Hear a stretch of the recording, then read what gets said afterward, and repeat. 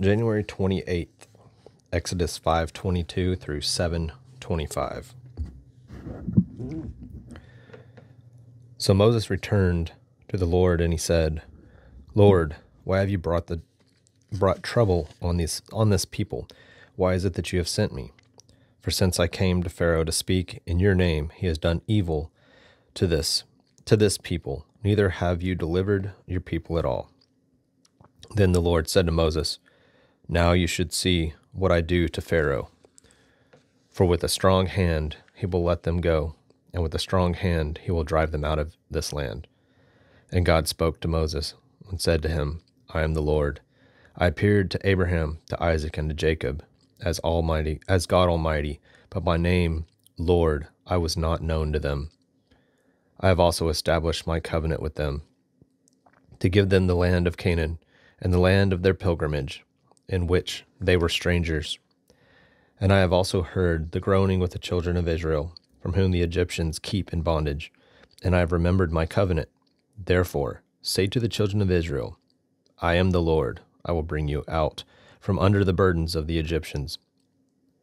I will rescue you from their bondage, and I will redeem you with an outstretched arms and, a, and with great judgments. I will take you as my people, and I will be your God.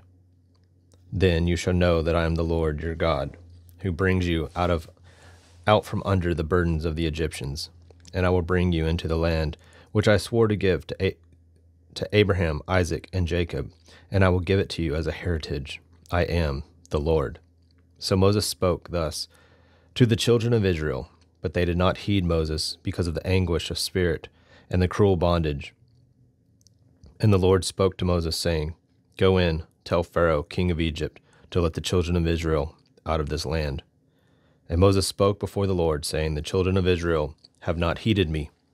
How then shall Pharaoh heed me? For I am of uncircumcised lips. Then the Lord spoke to Moses and Aaron and gave them the command for the children of Israel and for Pharaoh, king of Egypt, to bring the children of Israel out of the land of Egypt. These are the heads of the fathers' houses, the sons of Reuben, the firstborn of Israel, were Hanoch, Pallu, Hezron, and Carmi.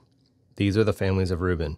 And the sons of Simeon were Jemuel, Jamin, Ohad, Jachin, Zohar, and Shaul, the son of a Canaanite woman. These are the families of Simeon. These are the names of the sons of Le- Levi, according to their generations. Gershon, Kohath, and Merari. And the years of the life of Levi were 137. The sons of Gershon were Libni and Shimei, according to their families. And of the sons of Kohath were Amram, Izhar, Hebron, and Uzziel. And the years in the life of Kohath were 133 years. The sons of Merari were Ma- Mahli, and Mushi.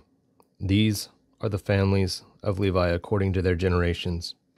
Now Amram took for himself Jochebed, his father's sister, as wife, and she bore him Aaron and Moses.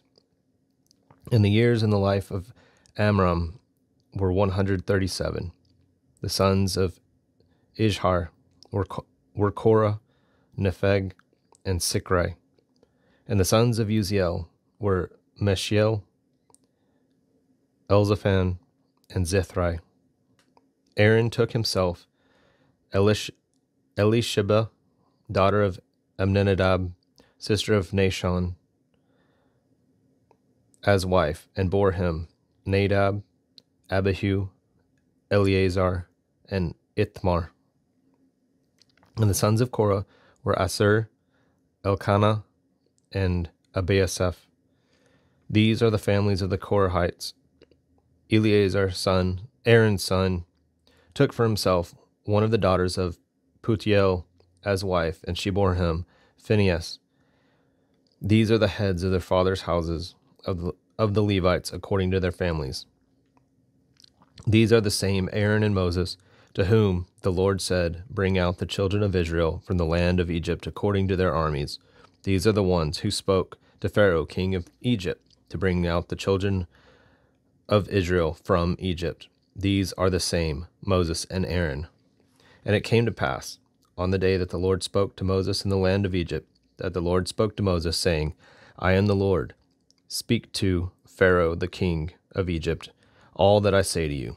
But Moses said before the Lord, Behold, I am of uncircumcised lips, and how shall Pharaoh heed me?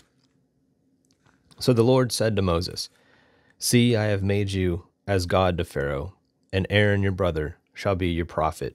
You shall speak all that I command you. And Aaron your brother shall tell Pharaoh to send the children out of Israel out of this land, and I will harden Pharaoh's heart, and multiply my signs and wonders in the land of Egypt. But Pharaoh will not heed you, so that I may lay my hand on Egypt and bring my armies and my people, the children of Israel, out of the land of Egypt by great judgments. And the Egyptians shall know that I am the Lord, when I stretch out my hand on Egypt and bring the children of Israel from among them. Then Moses and Aaron did so, just as the Lord commanded them, so they did. And Moses was eighty years old, and Aaron eighty three years old, when they spoke to Pharaoh. Then the Lord spoke to Moses and Aaron, saying, When Pharaoh speaks to you, saying, Show a miracle for yourselves. Then you shall say to Aaron, Take your rod and cast it before Pharaoh, and let it become a serpent. So Moses and Aaron went into Pharaoh, and they said, and they did so, just as the Lord had commanded. And Aaron cast down his rod before Pharaoh and before his servants, and it became a serpent. serpent. But Pharaoh also called his wise men and sorcerers. So the magicians of Egypt they also did in a like manner with their enchantments, for every man threw his rod down, and they became serpents. But Aaron's rod swallowed up their rods. And Pharaoh's heart grew hard, and he did not heed them, and the Lord, as the Lord had said. So the Lord said to Moses, Pharaoh's heart is hard; he refuses to let the people go. Go to Pharaoh in the morning, when he goes out to the, to the water, and you shall stand in the river bank to meet him. And the rod which turned that serpent you shall take in your hand.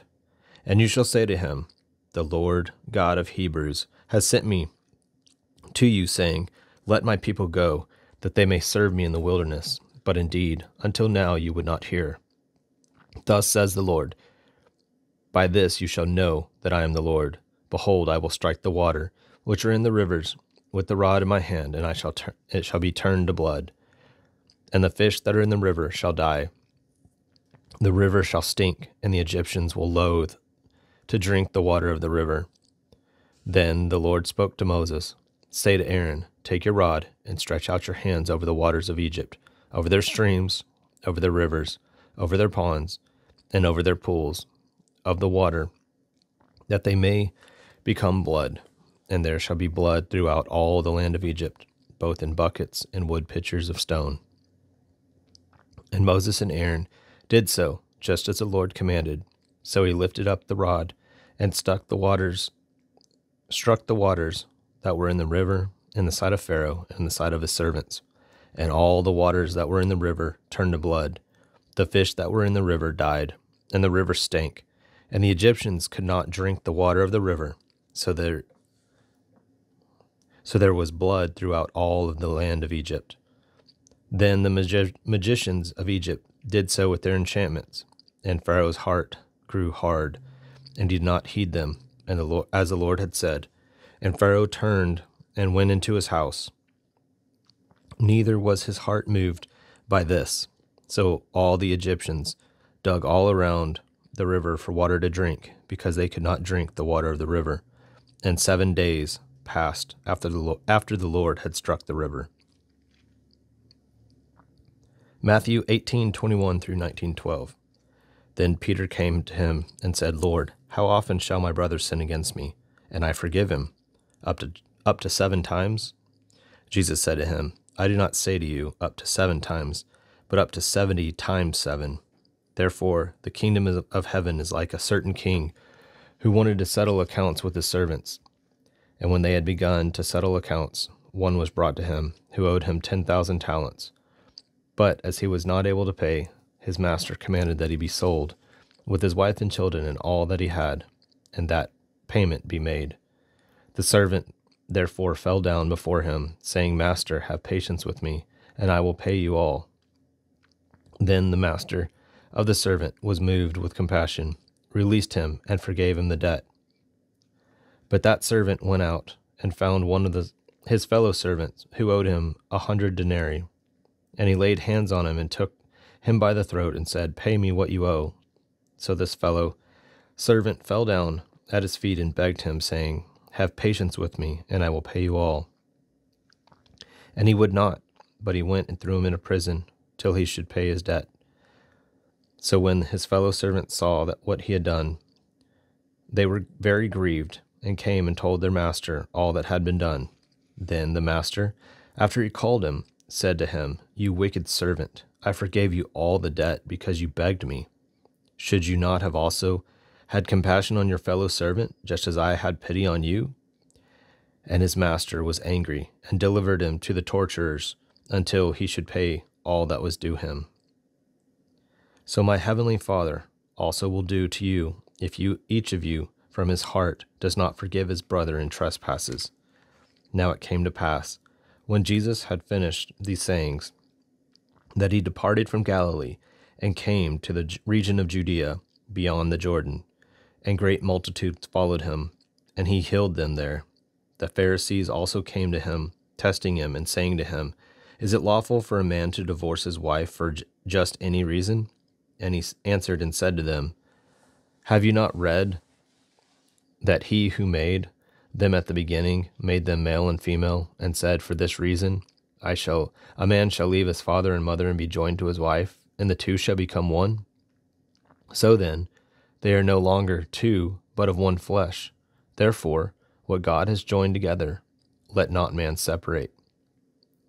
They said to him, Why then did Moses command to give a certificate of divorce and to put her away? He said to them, Moses, because of the hardness of your hearts, permitted you to divorce your wives, but from the beginning it was not so. And I say to you, whoever divorces his wife, except for sexual immorality, and marries another, commits adultery, and whoever marries her who is divorced commits adultery. His disciples said to him, If such is the case of the man with his wife, it is not better to marry. Or is it it is better not to marry. But he said to them, All cannot accept this, saying, But only those to whom it has been given. For there are eunuchs who were born thus from their mother's womb, and there were eunuchs who were made eunuchs by men, and there are eunuchs who have been made themselves eunuchs for the kingdom of heaven's sake. He who is able to accept it, let him accept it. Psalm 23, 1 through 6. The Lord is my shepherd, I shall not want. He makes me to lie down in green pastures. He leads me beside the still waters. He restores my soul. He leads me in the paths of righteousness for his name's sake. Yea, though I walk through the valley of the shadow of death, I will fear no evil, for you are with me. Your rod and your staff, they comfort me. You prepare the table for me in the presence of my enemies. You anoint my head with oil. My cup runs over. Surely goodness and mercy all follow me, or shall follow me, all the days of my life, and I will dwell in the house of the Lord forever. Proverbs 5 22 through 23. His own iniquities entrap the wicked man, and he is caught in the cords of his sin. He shall die for lack of instruction, and in the greatness of his folly he shall go astray.